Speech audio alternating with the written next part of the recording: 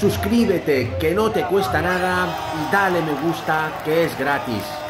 Buenas amigos culés, ¿qué tal estamos? Voy a empezar este vídeo hablando de algunos comentarios que he recibido por parte de algunos culés referente a los dos vídeos que publiqué hoy. Eres madridista, se te ve como un mandril, eh, poco culé eres, eh, cámbiate de camiseta, no sé qué, no sé cuál. Yo es que de verdad, estoy flipando. ¿Cómo me puede acusar a mí de madridista? O sea, que me acusa a mí de madridista es que no conoce, no conoce este canal bien. Es que no me sigue de hace mucho tiempo, seguro. Porque es fácil acusar a una persona y encima sin argumentar. O sea, para acusarme a mí de madridista, tú tienes que argumentar por qué, ¿no? Tienes que traer pruebas y aportar pruebas de que soy madridista camuflado. O sea, yo, madridista, es que me hace esta gracia, de verdad. Y todo esto porque he criticado a Xavi. Yo ya lo dije en varios vídeos anteriores. Si no insultas a Neymar, no eres culé. Si criticas a Xavi cuando, según tu opinión, no lo hace bien, no eres culé. Etcétera. Y yo digo siempre, todas las opiniones de todos los culés son respetables y mientras y cuando sean con, obviamente, sin faltar. O sea, es mejor que los culés no estemos de acuerdo en todo, en la manera de pensar. Es más constructivo para el club que los culés piensen diferente. Y no tengamos todos la misma opinión o el mismo punto de, vista en este caso. Es mejor para el club que los socios piensen de manera diferente. Y que no seamos como borregos, todos así, ¿eh? con los dos ojos tapados, como los caballos de la feria. ¿eh? No, no, vemos nada más, ¿eh? una opinión y punto. Yo he criticado a Xavi argumentando como siempre, porque no me, no me ha parecido bien ayer lo que dijo de Ferran.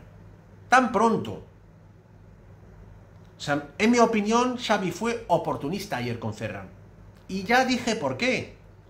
Porque él se siente culpable del fracaso de Ferran del año pasado, porque fracasó.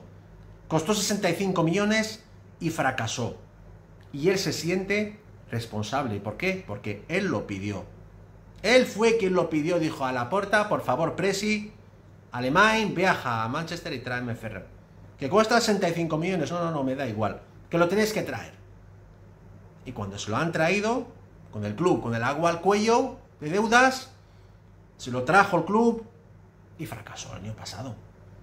Mientras que otro jugador, como Julián Álvarez de la Araña, costaba 20 millones. ¿O acaso Pep Guardiola no es un gran ojeador? O sea, Pep fichó a, en este caso a, a Julián y Pep no entiende de fútbol. Y pagó por él 20 millones. O sea que, que Xavi le han ofrecido a Ferran, a, a Julián Álvarez antes que a Ferran y lo rechazó. Porque en la opinión de Xavi, y es respetable, que Ferran es mejor que Julián. Pero hasta el momento no es así. Hasta el momento lo que está demostrando los dos es que Julián es mucho mejor que Ferran Torres. De aquí a Lima, lo que ha demostrado hasta el momento. Ojalá mañana, siendo Ferran jugador del Barça, pues rinde mejor que, la Araña. Ojalá, yo lo firmo ahora mismo. Que Ferran triunfe. Es que, que parece que yo no quiero que Ferran triunfe en el Barcelona, pero es que no es así. No es así.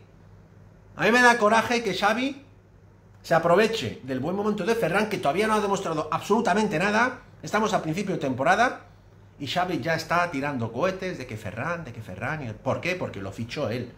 Y lo que quiere es protegerse con estas declaraciones. Lo que quiere es protegerse porque sabe que muchos culés están pendientes de Ferran porque él fue el culpable de que el Barça pagó 65 millones por él, mientras otros jugadores, no solamente la, Arani Álvarez, otros jugadores que estaban de mercado, y estaban la mitad y está rendiendo mucho mejor que Ferran. Mucho mejor. Tú aprovecha el inicio de temporada de Ferran para echarte flores, tirar cohetes. Ferran no ha hecho nada todavía. Ojalá que triunfe Ferran. Ojalá que triunfe Ferran. Ojalá que, Ferran marque el gol en la final de, de Champions. Hostia. Ojalá que lo marque. Y yo lo firmo ahora mismo. Y voy a ser primero en celebrarlo y llorar de alegría. Pero todavía no lo ha hecho. Ferran no lo ha hecho todavía. Y hasta que no lo haga, Ferran no ha hecho nada. Que está haciendo las cosas bien, sí. Que ha mejorado, por supuesto. Pero que todavía no ha hecho nada importante el Barcelona. Que justifique los 65 millones que hemos pagado por él. Que el Gundogan, uno de los mejores centrocampistas de Europa, ha venido gratis, por ejemplo. Araujo costó 4 millones y es el mejor central del mundo. Y cuando vuelva lo va a demostrar otra vez. Cancelo viene cedido, sin ningún puto duro, y la está rompiendo. Pero es que Ferran tiene que demostrar lo que vale porque valió la pasta que valió. Lo mismo hemos, eh, hemos dicho de, Coutinho, lo mismo hemos dicho de Dembélé. Yo soy el primero que ha criticado a Coutinho, que ha sido un puto fracaso, su fichaje, una puta ruina. Costó 160 millones, no ha demostrado nada. Igual que Dembélé. ¿Qué ha demostrado Dembélé? Mucha gente también se metió conmigo porque atacas a Dembélé. ¿Qué atacar? ¿Qué hostia? Aquí defiendo yo al Barça por encima de todo. Lo voy a defender por encima de todo. De Xavi, de todos. Yo soy del Barça antes de Xavi y antes de todos. Soy del Barça y seré del Barça siempre. Y defenderé los intereses del Barça.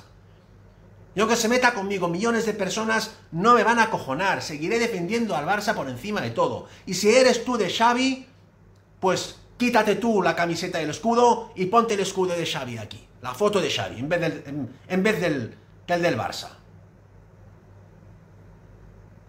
Así de simple. Cuando Ferran haga algo importante y marque un gol en la semifinal de Champions, clasificación para la final o que marque, pues hostia, sí que Ferran lo ha hecho, ahora sí que lo ha hecho. Y ahora sí que Xavi lleva razón y acertó con el fichaje de Ferran. Pero de momento Xavi no ha acertado con el fichaje de Ferran. En mi opinión, no es un acierto hasta el momento. Cuando haga lo que tiene que hacer, pues te diremos que Xavi, hostia, que aplaudirle que acertó, que he estado yo equivocado. Pero de momento no. De momento ha demostrado lo que ha demostrado, que ha fracasado la temporada pasada, que está haciendo bien las cosas este inicio de temporada, pero de momento no ha hecho nada importante. Igual que no le hizo ninguno tampoco. Si no estamos hablando de Ferran. Pedri tampoco ha hecho nada importante. Gaby tampoco ha hecho nada importante. Van en el, buen camino, pero todavía no son cracks, como cracks. No, no, no, no. Para nada. Hay que demostrarlo a la hora de la verdad. En cuartos y semis y final de Champions. Ahí donde, donde se ven los cracks y ahí donde se han visto los cracks del Barcelona. En la época de Messi, en la época de Pep, de Iniesta, de Xavi, etcétera a la hora de la verdad, tú la tienes que romper. Ahí lo dejo. Y ahora vamos al temazo principal. Atención a esta noticia bomba de última hora. Una fuente deportiva muy importante y cercana al club acaba de informar que Xavi ya tiene preparado su verdadero bombazo referente al partido de Champions que vamos a jugar próximo martes en casa en Montjuic contra el Antwerp. Y es nada más y nada menos, atención, que la titularidad de Lamin Yamal. La misma fuente asegura que Xavi ya tiene decidido al 100% apostar de nuevo por la titularidad de nuestro crack canterano Lamin Yamal para enfrentarse al equipo belga en el primer partido de fase de clasificación de la Champions League 2023-24. Me parece una idea fantástica volver a apostar por Lamin Yamal porque lo más justo después de todo lo que ha hecho nuestro crack canterano es darle, o seguir mejor dicho, dándole continuidad en el primer equipo. Esta ha sido mi grandísima noticia de hoy, amigos culés. No os olvidéis suscribirse a mi canal, que no os cuesta nada, pulsar un like como siempre y dejarme comentarios para cambiar opiniones. Muchas gracias, Forza Barça por siempre, vamos a por todas y nos vemos muy pronto en mi próximo vídeo. ¡Vamos!